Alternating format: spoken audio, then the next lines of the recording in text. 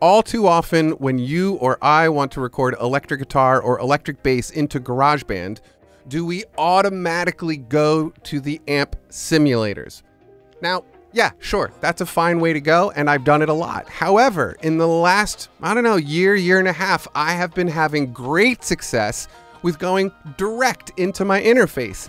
And I think there is no shortage of music out there that will prove to you that this is a good method. I mean, the Beatles did it all the time, so that should be enough, right? So, anyway, there is a lot of great tone that can come out of a direct signal going directly into your interface with your instrument. And that's what we are going to discuss. And I'm going to show you how to get the most out of GarageBand using the advanced GarageBand plugins that come for free automatically in GarageBand. No third party plugins in this video at all. Uh, so let's get right to it, okay? Let's go.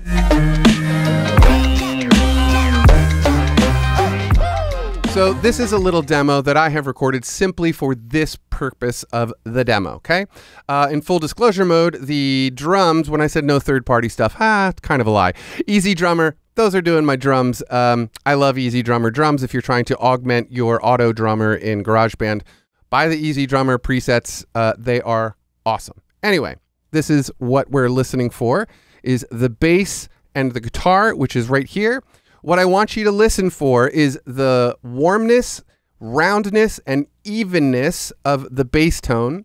Then on the electric guitar, what I want you to hear is the amount of breath in the tone and the truly sparkly wonderfulness of my Telecaster, which doesn't even have that fresh of strings on it.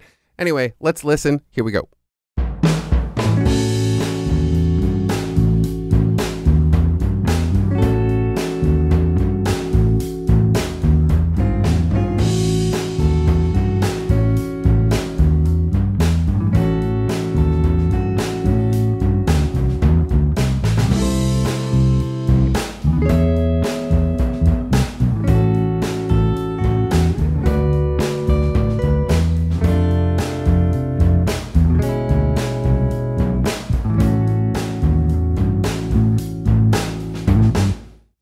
So that's it, right?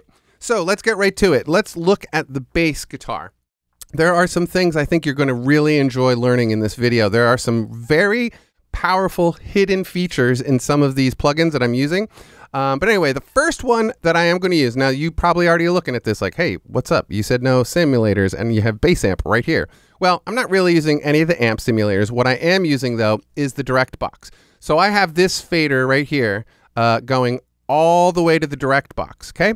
So yeah, this is the simulated direct box. It's a nice way to simply warm up your tone, especially for bass. This can be optional. I do enjoy using it because I do think it helps round out the tone in general. Um, so let's listen to this bass tone soloed.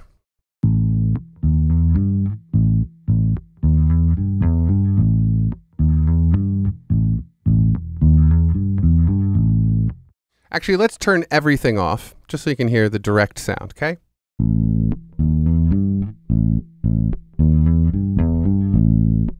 It's it's really not bad even in the whole mix.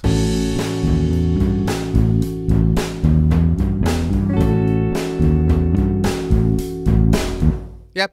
So it, it's nice and it's even and you can hear it, but I wanted it to be a little bit warmer, right? It's a bass tone. So I like this little direct box simulator that they have here. Uh, this is the only thing that I'm using in the amp, the bass amp simulation side is just this direct box. Fair warning, when you turn this thing on, make sure that you turn it down before you uh, go full direct box. A lot of times when you do this, it'll just sort of be way too loud. So turn it down before you go hard direct box on this fader, okay? These tone controls here, uh, you know, basically from one to six, it's starting from a lower, more bass heavy sound. And as you turn the tone knob up towards six, you get more mids and a little bit more highs out of it. Uh, the high filter cut is turned off because I didn't really want it. Um, didn't want to get rid of anything uh, EQ wise with this. I'm really getting away from subtractive EQing in general.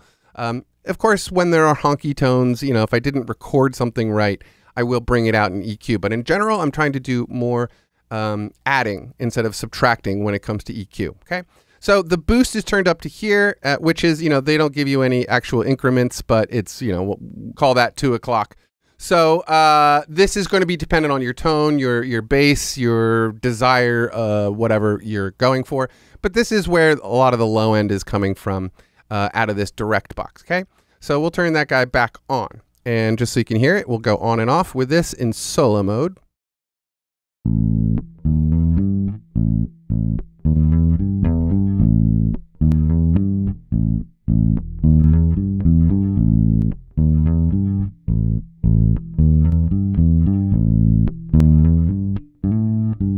Right? So it's nice and nice and subtle. It's very subtle, but it is just sort of rounding out the low end there. Okay, now the next thing, which I thought was sort of fascinating when I found this particular thing, this is in a reverb. Don't ask me why, I couldn't tell you.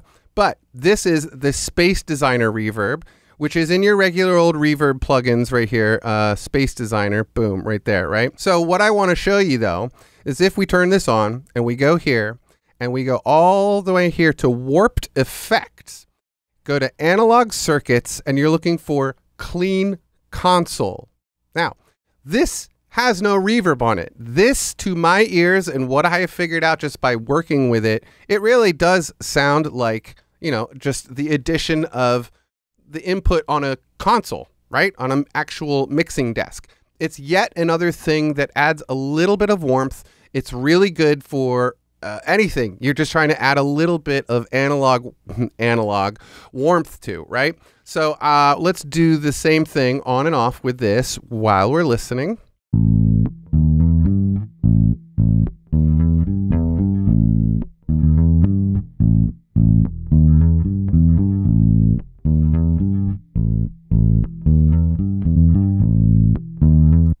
might be too much of a gain increase there so let's turn that down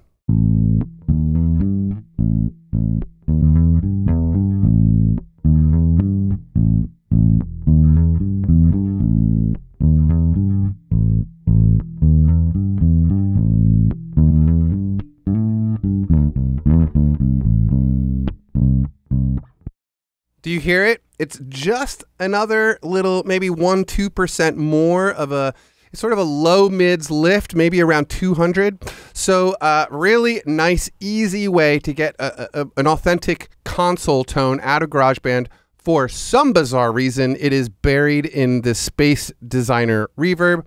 Don't ask me why. Okay. Uh, so the next thing in my chain, I obviously we're going to need a compressor. So what I want you to start thinking about though at this point in this video is the signal path that I'm creating here, right? So I have the direct box first going into a virtual console, right? And now I'm adding a compressor, okay? So I love the multi-band compressor out of the AU plugins in GarageBand. Um, just so you know, you go down here, go to audio units, go to Apple, and go to AU multi-band compressor. I automatically just go to the analog setting, which is part of this guy right here. There are only four presets. The analog one is the one that I'm using, okay? So if we open up the details on here, we can get all the good stuff that we need, right? You have a pre-gain, a post-gain, attack time, release time, and then uh, EQ volumes. Now, what you should be seeing is I'm actually not doing anything on these at all. I'm really only manipulating the curve of the output and input on this compressor and the manipulation, the threshold more or less, right? So let's listen to this guy.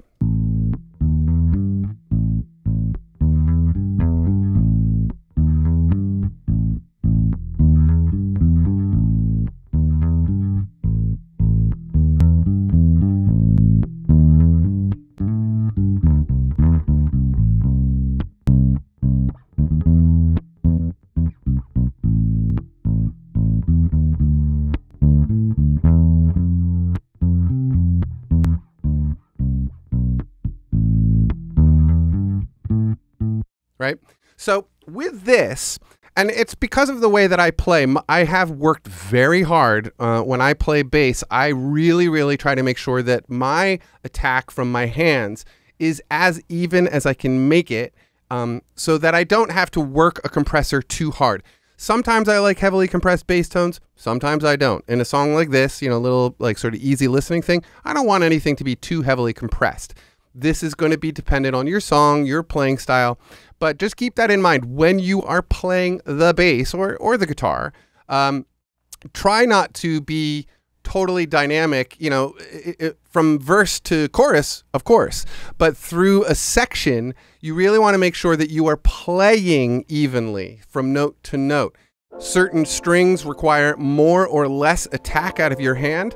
So that's a playing technique thing that I've really honed in on over the last few years, and it really, really makes a huge difference.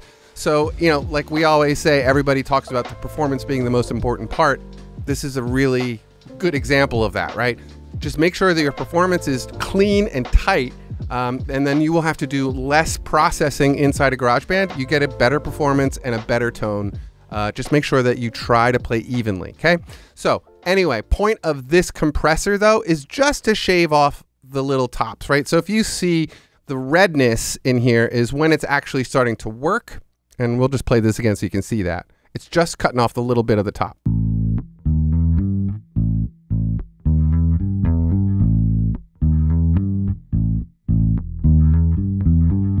Right?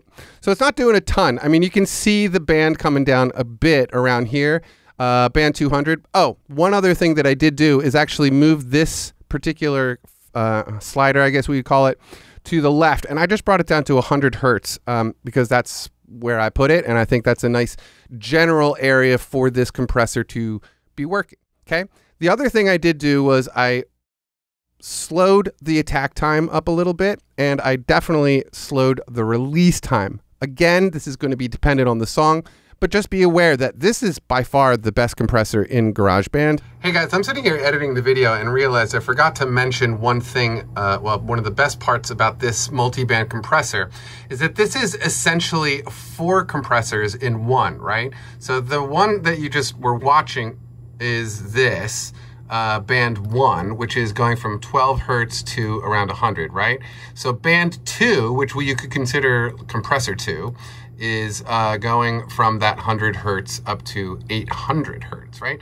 Band three and band four. So if I push play on here, and uh, this will be with the bass soloed, uh, watch, I can actually control this threshold right here. Uh, I love that I'm doing this handheld. I can do this uh, on each one of them, right? So as I push play, right? So I could affect this if I wanted to. Here's band three, and here's band four, and back to band one, right? So again, this is like four compressors in one, this multi-band compressor.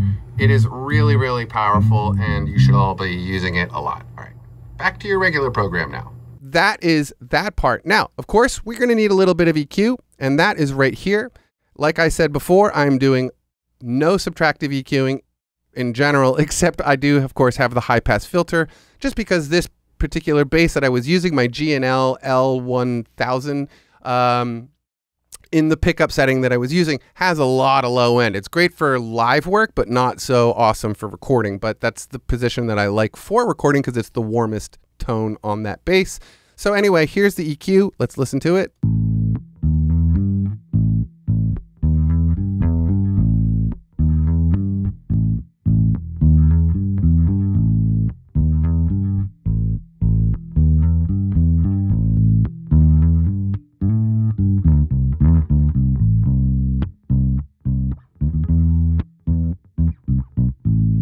right? So, what you should be hearing out of that is how it's just sort of reinforcing all that low end that I have, you know, added before with the DI box, with the console input, and then just rounding out everything after the compressor. Okay. So that's the bass tone, and all things played together, this is what it sounds like.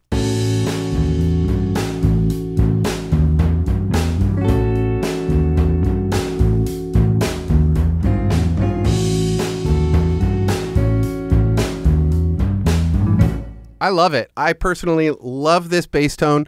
Um, this is it. Like I said, it's warm, it's even, and it's dead clean. There is no like simulated, you know, uh, like when they simulate the cabinets and the amplifiers and the microphones and all those things. One of the things they're simulating is some of the negative stuff of those, right? So it's not always ideal to put a microphone in front of a bass amp. Sometimes you want a direct sound. If you really like like good, clean, dry tones, this is the method for you.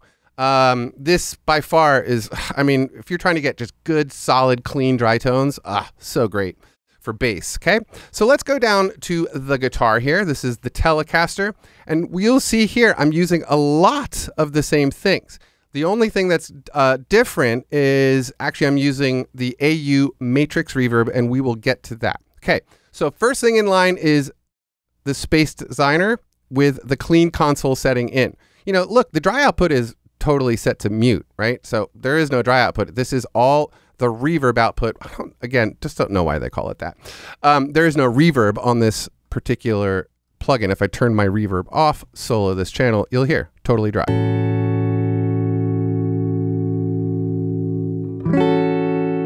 Let's turn it all off just so you can hear the dry tone.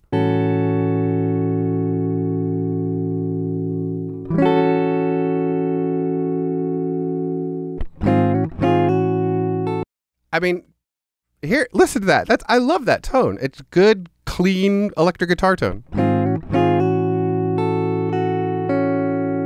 All by itself, right?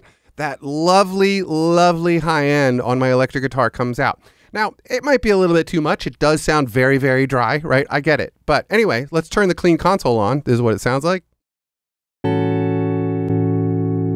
Warms it up. Hear that? Immediately.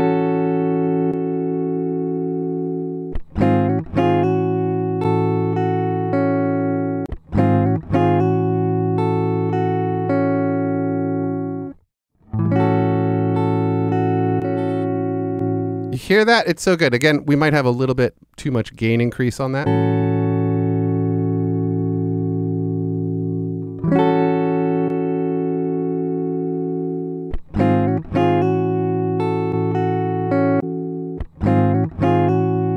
Okay, so what you should be hearing, at least what I'm hearing, um, it's just sort of cleaning off some of that extra crispiness on the top end and uh, warming up a little bit of the low end. I mean, gosh, how awesome is that? Just by this one thing. Right? Turn it off.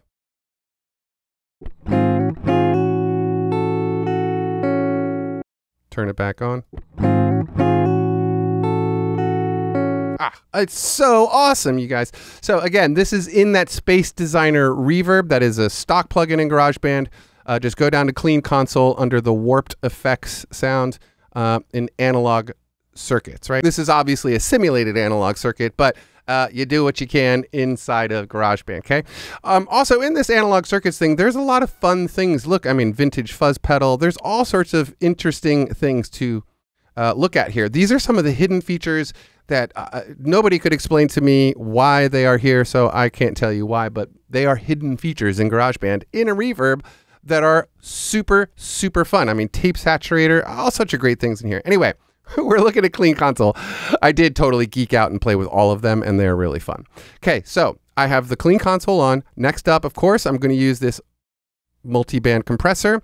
I have it set to gentle, and uh, let's go down to the details, and we will look again. EQs are all set to zero. Uh, release time is, you know, sort of fast, and attack time is kind of slow. So uh, let's listen to this on and off.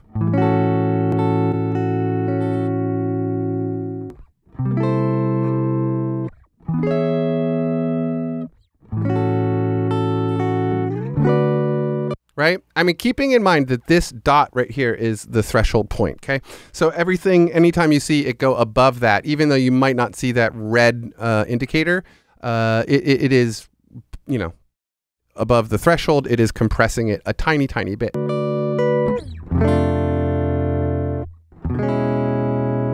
You can see the arrow turning red, okay?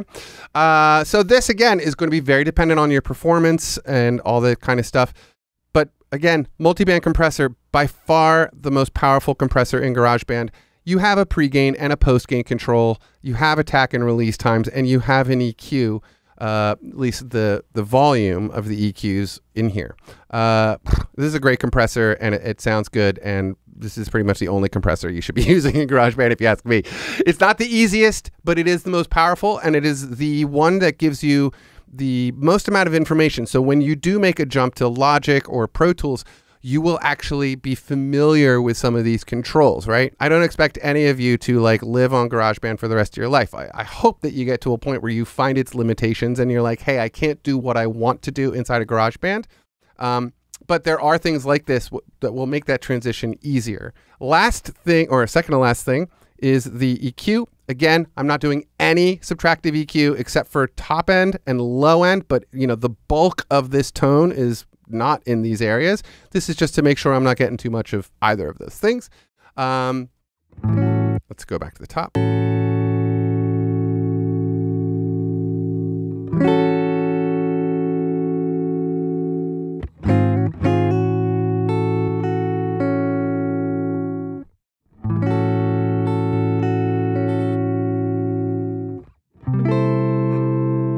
Right? So, I, you know, I'm trying to bring a little bit more of the high end back out. I am boosting a little bit around 500, which is a great area, especially for a Telecaster.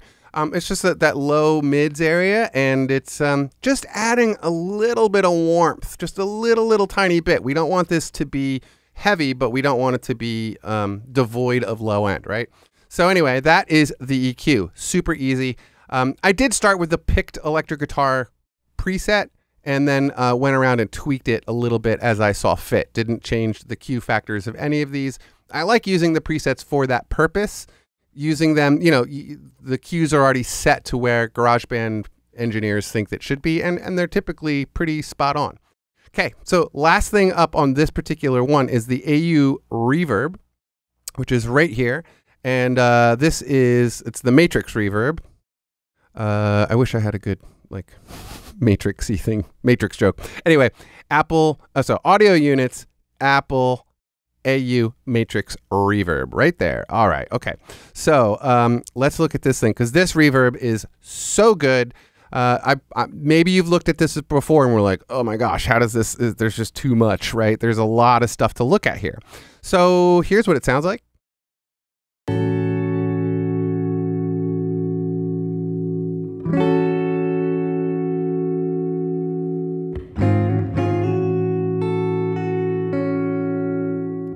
I love it. I love, love, love this reverb. Um, okay, so I did go ahead and set it to medium hall two, just to get a couple of presets uh, wrapped up. You know, like already some of the hard work is done. So you have a dry and wet mix. That's pretty self-explanatory. So what this reverb actually does is run two reverbs at a time in one plugin. That's what I love about this, okay? So, and then you can blend the small and large mix between the two of them, okay? super easy. Pre-delay, if you don't know, that just makes the delay, the reverb happen a second later, or in this case, 0.0149 seconds, um, a little bit later than the actual attack of the guitar. It gives a little bit of depth. It's not really a delay. It's not something you hear a ton of, but it is something that adds just a little bit of extra space in the tone. Very nice thing to have. Now, modulation rate is very interesting. Um, depth and rate. So these are the things in this particular reverb, and this is on the global controls, right? So this is a modulation of the reverb. If you could think of this as sort of a widening effect, right? Um, let me play it and work with this a little bit, and I'll show you what I mean. So let's just let's just zero it all out.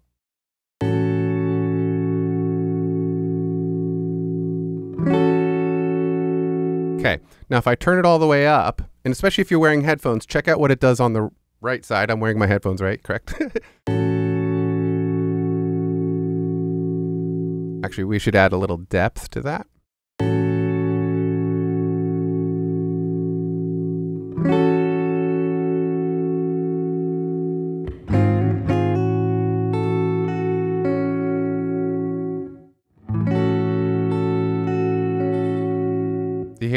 So it's it's almost like a chorusy effect. It's not a chorus.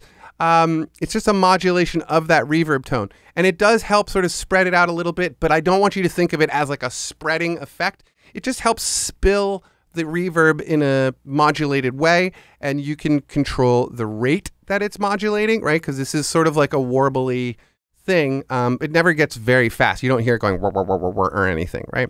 Um, but the depth, you know, So anyway, I like to have it sort of deep and the modulation rate kind of slow. So it's not like too chorus effect, right?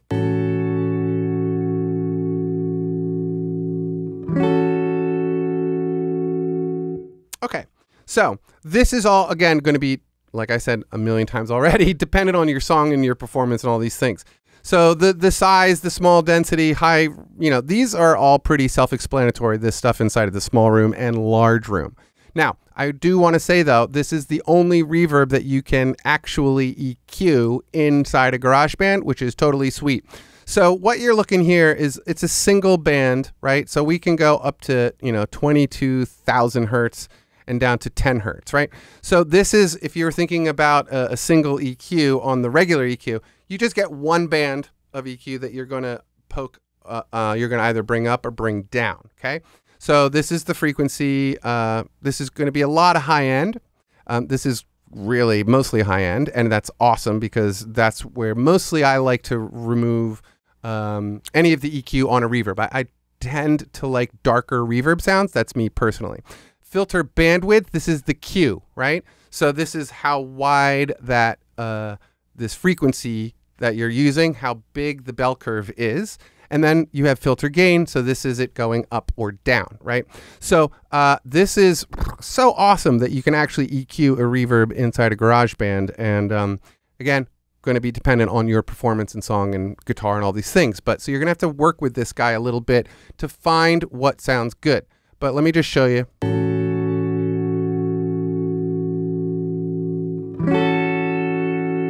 right? So th this is me turning up like at 2,509 hertz. A lot, a lot of high end, and this is just the EQ of the reverb, not the guitar itself.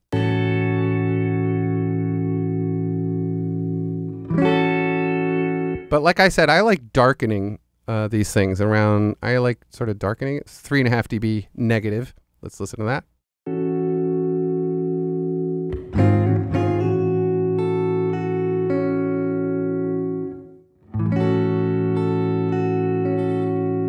It's awesome. It's awesome. Just darken that reverb up. That's my advice on this. Um, bright reverbs are, you know, maybe good on drums sometimes, but not on guitar tracks too much. I think there's enough high end from the direct tone that I don't need it being like accentuated by the reverb, especially when things like rides or crashes come in. That's an area that you want to typically sort of leave for the rides and the crash, right?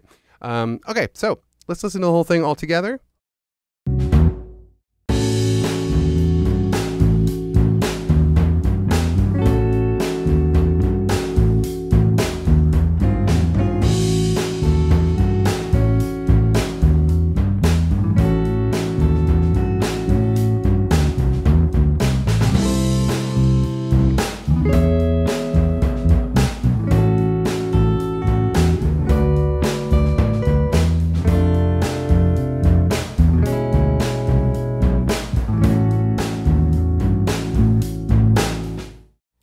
I, I personally really really enjoy those tones and i hope you guys do too. Very last thing like I'm, I'm trying to throw just so you guys know i'm trying to throw the gems like some little extra gem stuff in the the ends of my videos. So i want to throw one in right here for you now. I don't know if you noticed but i have these icons here. So one's a telecaster and one is a bass. If you don't know how to change these icons i have never spoken about this on my channel. Take your finger here. Hit the control button on your keyboard, and then click on there. Oh my gosh, look at all that. So you actually get all these different things that you can choose for, you know, whatever icon you want, the, the amps or whatever. But that's it. Hit the control button. Here, we'll go do it on guitars. Hit, hit the control button on your keyboard. Click on that with your mouse and look at all these guitars. For some reason, there's a sitar under the guitar. Uh, but that's that. So anyway, there's your little end of the video gem and uh, I will, uh, you know, let's let's close it out. We are so overly dependent on amp simulators in general. I think in the digital recording world. Yeah, they're great. There are some phenomenally good ones. However, these clean direct sounds going straight into your interface, making sure you get the right signal strength when you record it. Um, man, it's a totally viable tone. Like I said, the Beatles have used it for, you know, the Beatles use it a lot, a lot, a lot. And, um, you know, so many countless producers and artists do it as well. So I just wanted to share that little bit of knowledge with you guys today. And I hope you enjoyed it. And I hope you got something out of this video because that's the whole goal of what I'm doing here, right? So, you guys, I haven't said it in a long time, but if you get to this point in the video, hit that subscribe button. I'm getting really close to 100,000 subscribers and I'm desperate to get there. So please hit the subscribe button if you're at this point in the video. And um, you're the best. All right. Have an awesome weekend. I'll see you next weekend. Uh, peace and love.